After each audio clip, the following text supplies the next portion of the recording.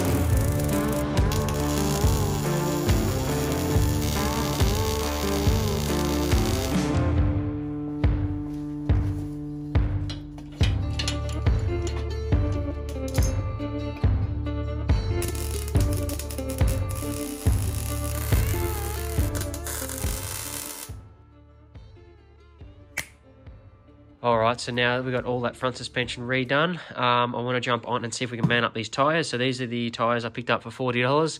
So we're going to mount the two fronts up and see what they look like. Uh, I'm not too sure on the rears yet as they are 11 inch wide. I think they're just going to be a little bit too wide for this, but we will see how we go. And we can actually see what this thing looks like then. And then we can jump onto the rear jack shaft.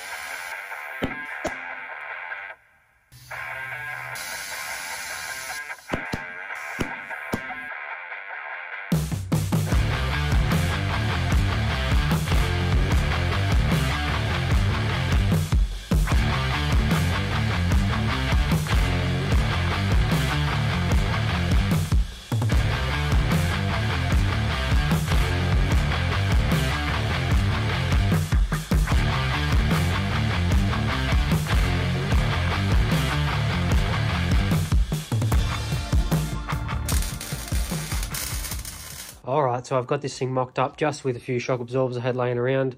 Um, I just wanted to see what this thing is going to look like in full suspension. Uh, the front is sagging a little bit. I think it's a little bit heavier than the rear. But um, I think this thing looks pretty good. This will give a rough idea of what our suspension is going to look like. Um, we do have a fair bit of camber.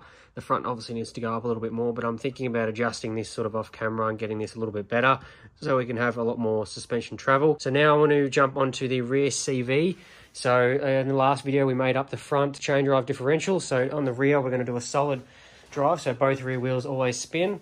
So we're going to uh, machine up a piece of one inch stock, um, two pillow block bearings and some hubs for the CVs. All right, so I cut out two bits of plate. These are going to be our mounting plates for our CV shafts. Um, so they'll bolt in four, four bolt holes there. So we've got here is our hub to one inch um, shaft. So I've got that and I've also tapped a um, center point in here and I've turned down a little bit of one inch um, stock here as a nice little center point. So what we can do is put that down there and we can grab our center point and mark it uh, just like so. And then we'll be able to tack this on and we can drill our four holes and then we can make up our shaft.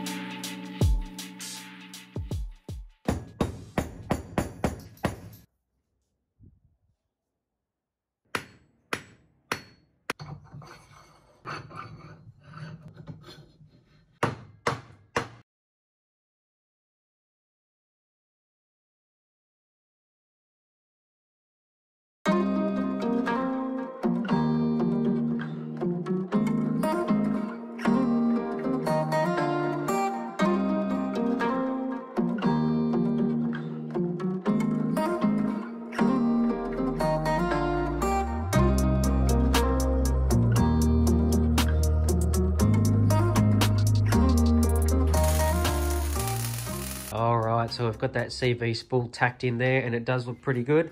Now I've lowered it down to about ride height because these CVs are a bit limited on their sort of angle range. That's about maxed out there. So we'll have to bring these up a little bit um, and play around with this suspension height. So I'm still not happy with that.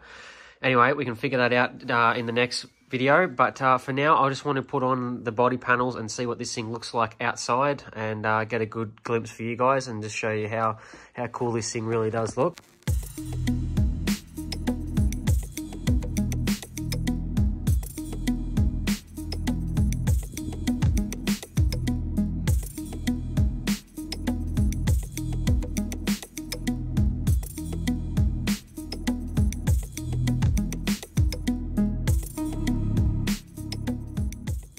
Right, so check this out, guys. This thing looks like an absolute beast. I'm absolutely loving how this thing is sitting. Now, I'm thinking about riding this thing about this height, uh, maybe a tad higher, but I think this will work out better because of those CV axles. Now, I do have some wheels to adjust with the camber. I know they do look a bit funny, but uh, I will do that. I'll probably just do that off camera just get all that nice and set right. That rear CV spool has worked out quite well. Uh, we will be jumping into that front one in the next video of this project uh, and getting all this driveline hooked up so we can spin everything. But yeah, thanks for being patient, guys. This project has been taking a lot of work and I have had a lot of other things on the go at the moment. So that workshop at the back, the new one, is hopefully starting next week and I have been doing a lot of demolition in the house as you guys may have seen on the other socials and a lot of work on my cruiser as well. So this thing's been chucked on the back burner for a bit. That's going to be all for today's video, guys. Thank you guys for watching. If you guys liked the video, definitely give it a thumbs up. Make sure you guys hit that subscribe button and notification bell so you don't miss out anything. I'll see you guys in the next one.